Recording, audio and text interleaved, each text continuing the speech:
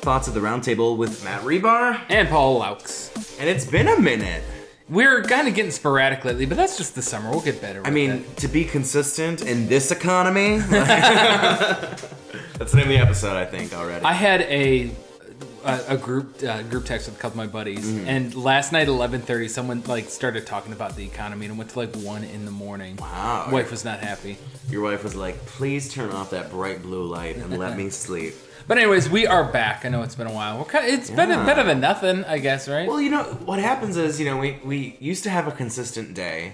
And then this summer, like half the time that we would record on that day, we just, things happened.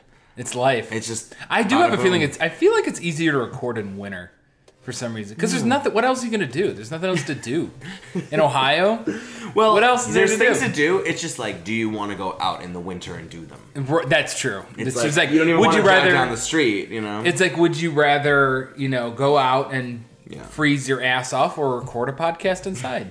It's like, would you rather be consistent during the summer or consistent during the winter? And it's like, well, the winter. I know I something we, we've talked about too, which I think we can tease a little bit, is guests. We're trying to figure out what we Yes, wanted. we- Mm-hmm. There's a new angle I think that we want to take with this, but We've been talking some ideas. It's just the last two months, this podcast has been like more on more of a fiesta than like when actually people in Spain take a fiesta. you mean a siesta? a siesta? Thank you. A fiesta is a party. well, the party's been on a break. I only know that because of Walmart's Fiesta blend cheese. If we were a party, we'd literally be the part of the party. Like this summer, we'd be the part of the party where like the cops came and everyone's like quiet and just standing. right, right. Don't move. The cops are here. Which, by the way, I do have some people who've agreed to come on the show. Oh my gosh. So really, it's just about scheduling dates. And you know, I think we've been talking about doing like a live venue experience just for funsies. Yeah, that's So, been that's been on the bucket list. We talked about that. That's too. probably harder to set up than we think. I think it's just kind of going to like places that like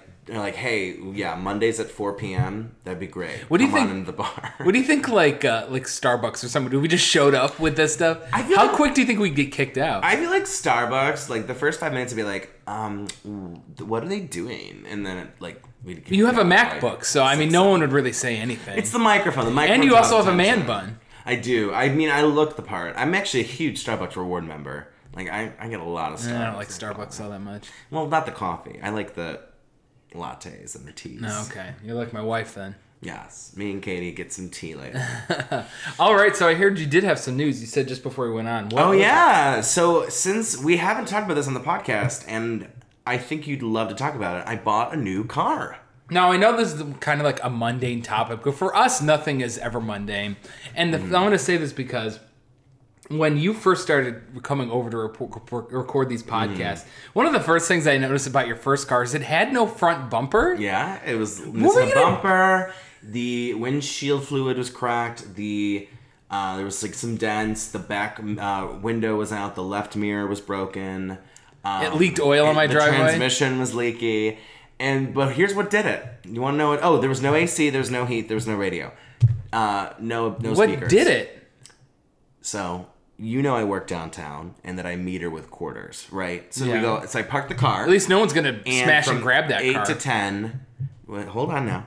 From eight to ten, you know, you put some quarters in. So you put two dollars worth of quarters, eight to ten, and then I'm usually out by ten. So it's That's great. the worst worst thing ever. I accidentally left a roll of quarters like visible among all You're- my recycling no, and no. clothes. Someone smashed my left like the passenger window For a took- roll of for- quarters? And here's where it gets worse. And the case, I, ca- I had a great little case for my quarters, It was like a cute little metal Like a clutch. You had a little clutch. like a, like a clutch bag for quarters. Yeah, they took that.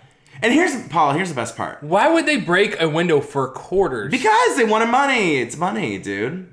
it's like 10 bucks max. Yeah, but shoot, man, people are desperate. Well, the, uh, they the police don't actually do anything about Well, th- I call the police. Here's the best part: the police called. They're like, "Oh, what do you do for work?" And it turns out they they're like, "Oh, I you know love what you do for work, whatever." And now, were you like, mostly mad about like? And obviously, you're not. I'm su- I'm assuming you're not too bummed about the quarters. Like, I give them three rolls of quarters to not break my window. I was gonna say it's the window. It's like, God Yeah. damn it! Now I gotta, you know, this window. You know, they'd write up the report, and apparently, here's the best, Paul. They're like, well, "There's been a string of car robberies," and I'm like, "That's why we need cameras downtown. Like, we need like, hello." It's surprisingly barren camera wise in downtown Cleveland. There's really nothing. is. There's nothing. And like, I don't know, I I'm, The- I, the I don't want to advocate for Big Brother, but like, it'd be nice to have like, Yeah. okay, major intersections, or I don't, Big Brother. Come on, who cares if we have cameras pointing towards the clubs? That, all that's going to do is help people. yeah.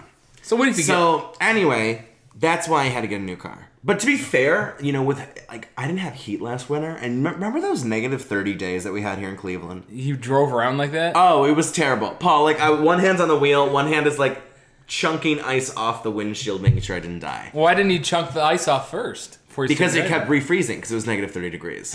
like that, like literally, it was like Oh, and you didn't have I windshield carry, heat, right? dude. I Carrie Underwooded a few times, and for those who don't know, You- what a oh, Jesus, take the wheel. Yeah, that call that a Carrie Underwooded is when Jesus take the wheel because holy crap, No, wait a minute. You didn't even have windshield heat. I had no heat. Oh my! That is the most dangerous thing I've I ever do. heard The in my car life. was. Oh, are you ready for this? You're gonna love this. We should have signed up for Uber with that and see what they would have done. Uber. Would have been like, you can Uber yourself back home. It's like that car. is it's like a they buy you a car. It's like we're worried about you. Like, please, just take Hi, this. It's, it's Michelle from Uber. We're kind of worried that your car is like gonna kill you. So you're gonna love this story. So when I bought the car, it didn't have any of those problems, right? You know, The, it- it- the car you old the My old car, Okay, yeah. okay. Broken. Did it have a bumper when you bought it? yeah, it just it, what happened. It was like a rust thing. It like unrusted the nails. Uh, unrusted the nails. The nails were unrusted. so technical. Um, so I bought it for three k. For just what year was it? 2009. Now we're going to like auto trade. I know you're like, well, here we are. So I was looking at new cars, and I get to the Mitsubishi place, and they were having a deal like that week, and they were like, "You bring in any car, and we'll put 4K off a brand new car." Really? Yeah. Even so I that rolled thing? in with my You're really testing no that. window, no AC, no heat, no like bumpers falling No off, No window. no window. I mean, it- You're really junk. testing the fine literally, print with this Literally, one. I walked in with metal on wheels, like you know what I mean. Got 4K off a brand new car. Are you serious? Yeah, knocked it right. It knocked it from. So what'd you end up 12. paying? Well, the car is sixteen, but I knocked it down to twelve. Then I put like you know obviously tax it up, and then I put like like a nice chunk down, and uh, I've put on like two payments already, and I've like put on like big two payments. You know, I'm trying to like knock it down. What uh, what car is it? Mitsubishi. Mitsubishi Mirage, Nice. and it's small. It's perfect for all that. Let me look out the window. Is it parked in my driveway? Oh yeah, go look at it. Oh no, it's on the street. Oh, it's on the street. I'll look at it later. But um, the only thing is, my you know, I love recycling. We don't recycle at work, so I, I keep all my recycling in the car, and I need to stop. Like, I need to get a better habit of doing that because And just trashing your car. yeah, it's You're four like my thousand wife. miles deep, and it's like trashed. um, but no, it's great, and the mileage is great. Seven gallons. It holds seven gallons. Which That's is, a small ass tank. but three hundred miles on seven gallons. Damn, I've never seen heard of a seven gallon tank. Yeah, dude. When I filled the it hell, up and it like clicked off at seven, I was like, "Is this on? Like, is this malfunctioning?" And then I start the car and it's like full tank. I'm like, "What?" That is that is a tiny. I could go to Columbus and maybe back on a full tank. maybe back. Do you mind on test? I don't know how many miles is it. to Columbus. I just know it's it's by Like 100. hundred some. Yeah. Oh, easy. Yeah, On one tank for my car. So no, I like it a lot. Um, it's nice to actually have because before getting this brand new car, I had three used, and I rode them all into the ash. And so it's nice. you like go. this car should probably. Did they say me. anything at all when you rolled up with the you know? The one guy, wagon? oh, yeah, the the salesman was like, "Yeah, you're you are taking advantage of a good deal." and you know, like kudos because I bought that car for three k. I made a k. I made a thousand back. If you think Right. about it. And there was no way, like, I wouldn't even get four dollars for that car, No, let alone four thousand. That's a one hell of a deal. Four thousand. I know. I was so I felt so hashtag adult. Oh, sweetie, Colby. But uh, I'm actually looking at getting a new car too. Oh, really? Looking at an SUV. Oh, I've always wanted. They're they're all responsible your SUV. they're pricey. You know what the funny thing is is um, the reason we want to get an F- SUV not for you know extended family or anything. Yeah. Literally because I'm sick of borrowing people's SUVs and trucks to take stuff home from the Home Depot. That makes sense too. It sucks, Get man. room. little tiny cars. Yeah. See, my car is tiny. You can't really do too much with that. Yeah. No is it Home a, is Depot it a two door, four door? It's a four door. It just it's a um, hatchback trunk. I like hatchback. I know I do too. All right, Paul. So tell us not the news news with Paul. All right, now this is kind of freaking me out. What, have you been to Florida recently? Mm, no, can't say how. Are you going to Florida anytime soon? Uh, if it's still there in the next five years, maybe. In the next five years, okay. Not recently. That's good because apparently, I don't know if you've seen this going around. They're having these weird rashes of flesh-eating bacteria. You know what? Down there? Scratch that. Maybe I'm not going to Florida in the next five Literally, years. people are just like not even going in the water. They're just walking on the beach, and there's like there's some. You remember the, last summer? There was that red algae bloom. Do you remember that? Oh my gosh, yes. And it killed a lot. Toledo. Toledo couldn't had they couldn't drink in Toledo, right? That's a di- that's a different algae bloom. Oh lord, there's so many algae. yeah, blooms. the, up here is the green algae bloom. Oh my god. Still going on, by the way. But down there, they had the red algae bloom, so much that you could like see it from space, Mm-hmm. and it was killing all the marine life and everything. It eventually went away, but apparently, I don't know if something. Plus, it's also just still Florida. Mm-hmm. People are getting like this weird ass flesh eating bacteria that literally you're let you wake up and your leg's just gone. like I have to cut it off basically. Like Oh people are like God. they go into the doctor, you're like, I got this rash on my leg. They put you under, you wake up and your leg's gone. Like Like, how do you even get it? Like, I don't know, just through a cut, through a scratch, through. doesn't that scare you? It really. I mean, it's I mean, kind it- of a a scary movie, but like you're living it.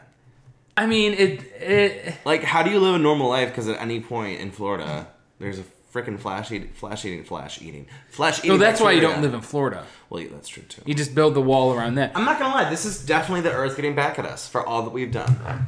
What is it? What do we have like twelve years left or we something don't like have that? too long. Do you see the pictures of Greenland? They released pictures of Greenland, and it's like there's What no mean? ice in Greenland. Well, I mean, is that uh, Greenland's not as as it's not as glaciery as everyone No, thought. I thought. Greenland is the glacier. Iceland is the one. That, But I thought Greenland wasn't that glaciery either. oh, Greenland's a big old block of ice. Not anymore. yeah, now it's a chain of islands. Now they're, like, form microwaving. the, form the outline. Of and now the to. Amazon's burning too. I know. And here's the thing: how did the Amazon burn for two weeks? And like, well, most of us were unaware. Well, a lot of it was deforestation from Brazil. And and well, that. But then also, they're refusing any foreign aid. They're like, no, we They want. Well, they, they did that on purpose. I mean, the burnings for the logging companies and the oil companies. Brazilian's president was all into that. I don't know. This is ridiculous. That's why it finally has been put out. quote unquote. I know, but See, and this is what's funny is when people are like, you know, if we don't take care of the earth, the earth won't be here. No, no, bitch, we won't be here. the earth ain't going nowhere. that's why I'm worried about like having kids and stuff. It's like, what in God's name are they gonna have? By the way, did you? It was last week, and this is the shit that scares me seriously. Mm-hmm. Because apparently there was a meteor the size of like that just missed like us. tech- yes. that like basically gave us a buzz cut that we had no freaking idea was coming. They're just like, whoops, missed that one. like, is that not or is that not? Like, What? tell me. Like, that's the earth being like, see what I Well- can do. See what I can do to you. well, there's also Because the earth be fine. There's earth also be okay. there's an asteroid. Um, about it's about ten years away from us, and it's the size of the Empire State Building. oh lord. and it's gonna get real close to us, like even closer than that one was. Mm-hmm. And their scientists were like, "Yeah, we'll probably be okay." I'm like, "I don't like probably," Like, which brings me to this question because this is something I brought up to my friends the other week. We had this really cool discussion about it. Mm-hmm. If okay, so say this asteroid it was going to destroy the Earth Yeah. and everything. I'm not. I don't want to go into these weird scientific theories about what we can do or anything. Well, just shoot missiles into the sky and blow Yeah. it up before it even gets cl- anywhere Say- near us, say we- right? Wouldn't that be the tactic? Nuke it.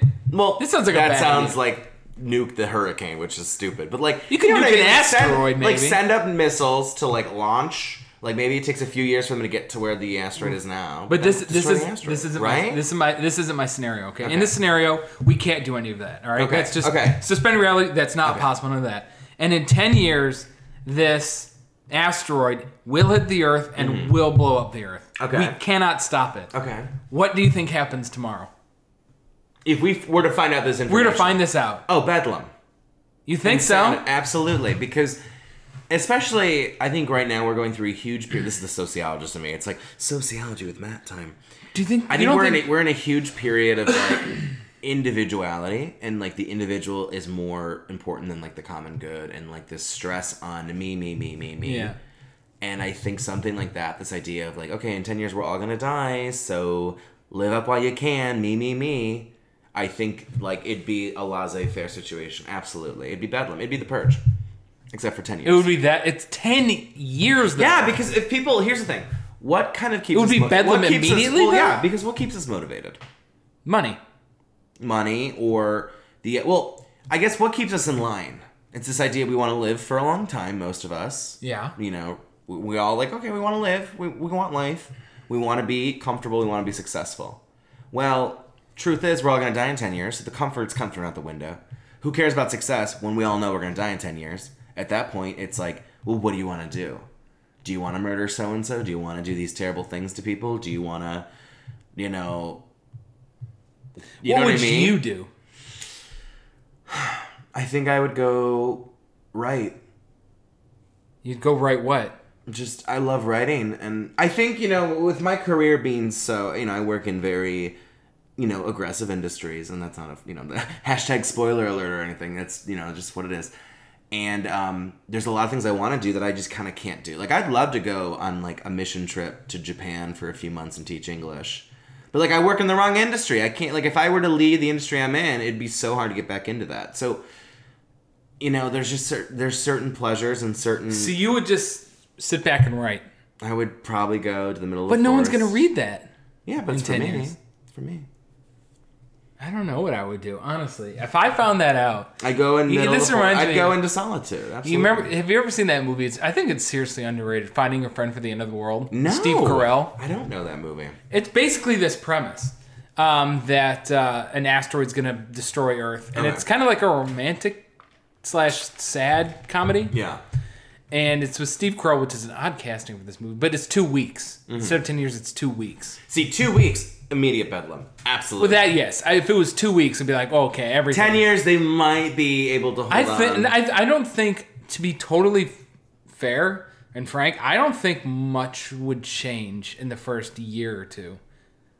I think governments would try to keep things under control for the most part. Well, the, if we're going by a situation where there's nothing we can do, then I think it'd be absolute bedlam. But I think maybe if there's like this situation where like, well, we, maybe we can do something, then yeah, they're gonna try. Because they're gonna you- devote all their time and energy to doing something. You have to realize there's going to be factions of people too. There's going to be factions of people who just think this isn't true. True. Be like, that's eh, not happening. or it's like a religious. right. There's going to be the religious people who think, well, they might actually be in the first group that this is not true because technically religious people think. No, it'll be. Um, I think a lot of it will be like, you know, this is God telling him that like we as a human, like that humans are terrible. Like I got him in some more situation. there will be those people who blame themselves as a society, like those kind of people who think like it was our fault this is going to happen. Yeah. And then there- there's going to go people who be like, "F this, we're going to fight it," even though we know it's not possible. Like, And then there'd be a group like me. It's like, well, you know, I there's been things I've been wanting to do for years that I'm gonna do. Or I think there's that group's small- going to be small. Yeah. And I honestly don't think you would do that. I honestly What did you think I would do? panic. I mean, yeah. Who's not gonna panic? Everyone's gonna panic. Yeah, but I don't know if you would. Do you really think you would do that though? Just hide in the woods and write? I think so. Would you be Well, crapping your pants for the next ten years? Of course. Who wouldn't be crapping their pants? It's like everyone knows now you have a death date. Everyone has I'm, a death date. I'm trying to think about what I would do, and I I don't know. I you, honestly you would don't. you'd probably take Katie somewhere safe because it's gonna be bedlam. But safe where? Where are you going to be safe? I don't know. In the middle of Parma Heights? I don't know. Maybe, maybe not. I don't know. It's all like. Up Let's grabs. here. Let's do this. let's do this. This will be fun. This is interesting. We'll have some homework to do. Okay. Ask a couple of your your friends that what they would do. Okay, we're gonna do a study. I'll ask a couple of mine. Okay. Next podcast will come and we'll display the answers. Perfect. What- what and you know, if you're listening and you want to contribute, you can tweet at us at Chops Radio. That's your handle. Mm-hmm. Correct. And then mine's uh, Hribstar, H R I B A S T R. If you're like, listen, I have to let them know what I think. Um, we'd love to hear it. So next episode, Next let's, episode. come come together. We'll do a focus group. All right, sounds good. All right, you got any advice for us? Yes, dead advice with me, Matt. After going from this deep, we went from such a deep philosophical conversation to such shallow advice. I love it. That's fine. Um, so this one, the title is "Debating over having kids is stalling us." Let's take a listen. So it says, before my husband and I married, we discussed kids, and that he admitted he never really wanted to have kids. He'd be fine with having a kid with me, but now like he puts it off, and it's gotten to a point that she's 34, he's 40, and she's like, it's a, it's a limited window. Um, and he he believes that if we have a kid, like our lives will end because we hear a lot from our friends like that. It's like all the complaining and all the work that goes into having a kid. Um, what can I do with my husband? And so Carolyn, and I love a nice Carolyn Hax because Carolyn is not going to deal with your bullshit. Carolyn does not have the time to sugarcoat. Carolyn is here with the blade of reason. And she goes, You need to demand that he either honors the promise, and if, because he made that promise to you that, yes, we would have a kid, and if he goes back, then he lied to you, and that, that narrows your options. And she also said, and I agree with this. She says, "You said your window is somewhat limited. It's not limited. It's running out." And I agree. I mean, pregnancy is difficult, no matter how old you are. Mm-hmm. But it's common fact. And you know, I'm not a doctor, but like, you know, she's 34. I mean, in 10 years, it's gonna be very hard, if not maybe over. Like she's gonna, if she wants to have a baby. Like a biological, like a biological birth. Yeah. Obviously, you can always adopt and foster, and you can always be a mother and father or any kind of parental figure. but- Correct. um, and so she's like, so you need to get on it. What, Thoughts? what a wimp, dude. That guy. Why would you make a promise like that and then bail on it? You're just a piece of trash at that point, honestly. Because that's a big thing. I just feel like it's That's such a big it's thing. such a selfish move to be like, yeah, I totally agree, or like I promise, like you know, and then you're pushing and you're pushing and you're pushing, and it's like, like so you clearly it's weird because you know he's gonna be like, well, I loved you and I loved you so much that I didn't want to lose you, but then I also didn't love you enough to respect No, he's the just a, promise that I he's, kept. he's just a piece of trash. If he can't keep it, because that's a big. If it was a smaller promise, like I don't know, we'll move to Paris or something, Yeah. whatever, like that. That's I, it doesn't seem small. Paul's like, oh shoot. Um, no, I know what you mean. you- There's like levels of. It's like promises. yeah, it's like well, that's annoying, you know, whatever. But it's like kids is a huge thing. But we know, I mean, we know plenty of people who relationships have ended because, you know, one person wants kids, one person And doesn't. rightfully so. You And need I to be the person. I You- agree. Because I will. I never. You will resent the other person. I never have issues with someone who who leaves someone's because they said we couldn't grant kids. That, It's a- that it's is- a shame. That is a fundamental thing. It's, it sucks. It's, not like, oh, goody, but it, It's it needs it's to a happen. fundamental thing. Absolutely. That and money are two huge fundamental things to to but if, if you're like, okay, well, I guess we can have one, you know, I'm not really into it, but like, because I know you want that, and you're balking, you're balking, you're balking. It's like, just be upfront. Just be upfront. Be like, I don't know. I don't. I, I just don't. So what would you do if you're in her position? Like, would you? You? I mean, you'd confront him. I feel like at this point. But do you? If he says, "Okay, I lied," would you just be like, "Okay, Divorce well, then him. divorce"? Yeah, that'd be it. Or would you? I don't know. Would you try and salvage that? Or No, I wouldn't. Yeah. Honestly, it's not because yes, I know she's she can still adopt and have kids that way too. Yeah. It all depends on too. There, oh, it's a lot of other factors, monetary factors, and Yeah. things like that. But I mean, it's And she says that they're financially okay. I forgot to mention then that. then then Like- say goodbye. It's She's like, it's you know, it's not like we're unable to financially support a kid. then. But you know, he- he's she's like, he hears the stories, and it's like, well, but that's the thing. Everyone complains. well, I should say go, you, you got to get some serious human nature first, is complaining. Like and I mean, I'll be I'll be the first to admit I'm guilty of complaining. We Mm-hmm. all complain, and it's easy. I can see when a parent, you know, your kid's kind of like your primary responsibility, Right. In a way, Right. So yeah, of course you're gonna complain about your main responsibility, like oh, Sandy didn't do the dishes, or like. You know, Joey threw up all over the kitchen floor, and it's a silk floor, and it's I, I don't know. Silk know. floor. You know what I mean? Like bamboo. not on the bamboo. Jesus. so I, I get why these parents are complaining to them, like, oh yeah, you know, my kid is doing this, but Kids are kids are brats. Kids are annoying as hell. But I mean, we got to have them. it's like, well, we can't have robots. And you know what? That's five percent of having a kid. The annoying part of having a kid. I agree. My wife is annoying. She can be annoying. Everyone's annoying. I'm annoying. Katie's listening to this right now in the car, like, what? what did he say about me? Well, everybody's annoying. You're annoying. I I'm agree. annoying. We all complain about everything, so it's like you can't let the complaints about the kids be like, oh my gosh, listen what they say.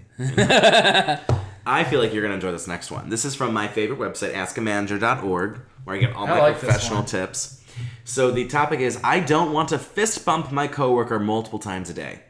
So she says, Fergus is my peer. We have the same title. We work in the same department, and we're very mobile. We move around the office a lot. My issue is that Fergus, a couple times a day or so, will come over and then offer a fist bump or a high five during his interactions. He does with everyone. There's no rhyme or reason. And she's like, I don't want to be a stick in the mud, but I don't want to have any physical contact with my coworkers beyond the occasional necessary handshake because social conventions make me feel obligated to return the gesture, but like I'm not I'm just not a fan of doing it and I don't want to sound like a complete jerk, but how do I get out of this? And of course, my girl, ask a manager, she knows what she's talking about. She's like, listen, you can opt out, you know, just be honest. Be like, you know, I'm not really a fist bumper or I'm not a big high fiver. But then you follow up with something that like brings it kind of positive. Like, you know, like I'm not a high thumper, but like, oh, I'm out to lunch, have a good lunch, or like, you know, I'm not a fist bumper, but I'm excited that we got this project done or that like this is settled, that kind of thing.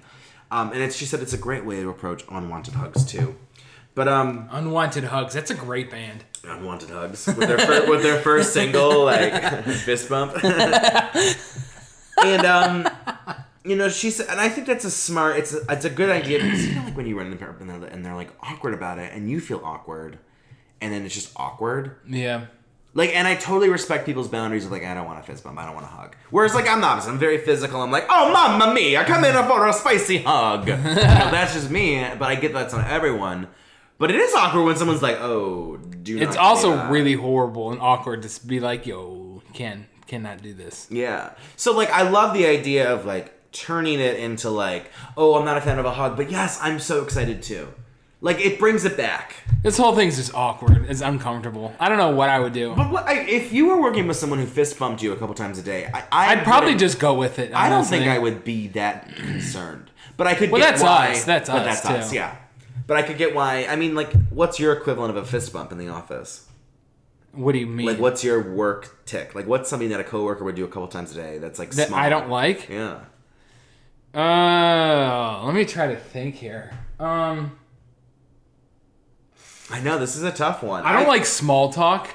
Like, how's the weather, Paul? Like, I, if you don't, w- one of the things that bugged me the most is, and with my last job, you understand. You were in that position. You understand Mm-hmm. when people of of of a sales department will come Mm-hmm. and just sit next to you and watch what's going on. Yeah. Do you ever have that happen? I, I don't like hovering. Hovering, hovering. I'll say that hovering is one of the worst. Yeah. And sometimes I feel like I'm guilty of that, and I try and be aware because, like, I, you know, I'm always running around. If I have to wait for someone, like say I have to, someone's on the phone, I, I leave. I go to a different room. Yeah. And every once in a while, I'll bop back. I try to do it sparingly, but like I'll go to the kitchen or go Mm. Yeah. down to an office or whatever, because I know hovering's the worst. So then you just be like, um, please don't hover, but I'm so excited we got this job done. Yay. Get out of my Please face. leave. Now, are you ready for this one? This one's juicy. This is a Dear Abby. And you know how I feel about Abby. Abby's a little hit and miss. Because sometimes. Yeah. Remember the one? What was the one that Abby, like, I don't know what it was, but basically someone was like, Abby, my kid's doing crack. And Abby was like, well, like, what kind of crack? Like, it was. Oh yeah. It was. It wasn't that, but like it was like It was, like, very it was dismissive, what? yeah. Abby, like what? Okay, so this this is the topic. He wants to be quote just friends, but asks for kisses and books us a hotel room. What gives? I know, right? Three months ago, I went on three dates with Kevin. Kevin sent me a text saying he didn't feel I could offer him the relationship that he was looking for, but Kevin wants to remain friends because he has, quote, fun with me. I agreed, and we've gotten together many times and communicate often. I'm not physically attracted to Kevin, but I sense he's attracted to me and it makes me uncomfortable. Since Kevin agreed to be friends, he's invited me over for movie and cuddle night, put his arm around me, asked to kiss me, and booked a hotel room with only one bed and no sofa. It's like I'm his placeholder until he finds a real girlfriend and he wants to spend time with me out of boredom and loneliness. I don't know how to break things off nicely.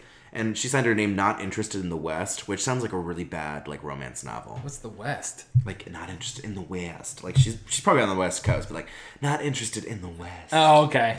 by Danielle Steel.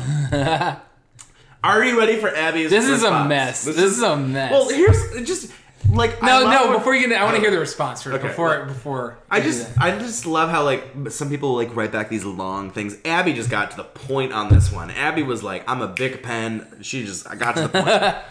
Abby, I think you have Kevin pegged correctly, and here's how to distance yourself, Damn. quote, nicely. Tell him you like him very much, but as a platonic friend only, and explain that kissing, cuddling, and sharing a bed are things you do with a boyfriend, and it's time for both of you to move on. And then move But why on. would he do that without making it? Here's are you ready for what here's what I'm reading between I the don't lines. understand. I'm reading between the lines right now. Kevin wants a friends with benefits situation. and she's like not into Kevin. But that's not really a friends with benefits situation. cuddling on the couch for movie night and places. Friends with benefits is, at least what I would think, is sex only. well, cuddling in movies and stuff. I don't think so. Yeah, because you're being A friendly. friends with benefit is one of those people I believe you just text just for a. Well, I to Right? me, to me, there's layers to it. It can be as easy. I've as never had booty- one, so I Well, don't that's really more of a booty call. A booty call is like 2 a.m. Like, what you doing? Like a friends with benefits. Is there a difference between a friends with benefits and a booty call? Yeah, a booty call you don't respect. I would say, right? you don't respect. You don't respect the booty call, and you don't respect yourself for reaching out to booty call. But it's like you're desperate. Do you have anybody your phone that you have for the booty call? No, no, no, no. Oh you're Oh lying. You looked away when you said that. Well, I itched my shoulder. You're like, no, I don't. Well, here's my thing. I love consistency. So like the idea of just like someone who I wouldn't use consistently goes against kind of like my nature. Okay. Like I, I love building up long and good friendships. I love, you know, consistent work and projects and like evolutions. So like this idea of like once in a while hitting up someone, like that's not my cup of tea. Mm-hmm. Um, so I'm getting from this letter from not interested in the West. This Kevin wants a friend with benefits, and she doesn't. And it's as easy as being like, "Sorry, I don't want that. I just want a boyfriend," and walk away. Don't be friends with him. Do you I don't have what- friends? Like, is she? Is this the only friend in the West? Like, why, I- does she, I why does she care that much? If she's not, so if, weird. If you're not interested That's- in I don't anything feel he like has to offer, move on. I just feel like that's not a friends with benefit. I don't know what it is. to, it's a booty. Well, he's trying to make it a friends with benefits because he's like, "Oh, come over, watch a movie, and then like we'll cuddle." But if he's doing this all the time, I don't know. I don't know. I'm lost. That's the thing. I feel like it's Maybe he's just afraid of the commitment. Well, he says, what did he say? He said, um, I didn't. He didn't feel I could offer him the relationship he's looking for, which is like code word for like I like you, but I don't like you enough to be in a relationship with you. I mean, am I wrong? I think he just doesn't want to commit. Maybe. Maybe. Well, that's the advice for today. Any closing thoughts on our reunion special? Oh, not reunion. No, let us know what you think about uh, what we said earlier. Yeah, if you, uh, it's the meteor. If you, If it was e- the Earth was ending in ten years In and you 10 knew years. about what would you do? what would you do? And How what would you think respond? you would do? Two part thing. What would you do? and What do you th- what do you think the Earth would be? Because we all know, like when we, you know when you're in like ethics class, and like, would you steal the bread for your dying family? And we're all like, Like, yeah. absolutely. But then, like in reality, half us would be like, I can't do it. I can't steal the bread. Chops Radio for me and Hribstar, H R I B S T A R. Twitter. Let us know what you think, and we'll see you next time. Till then, peace out.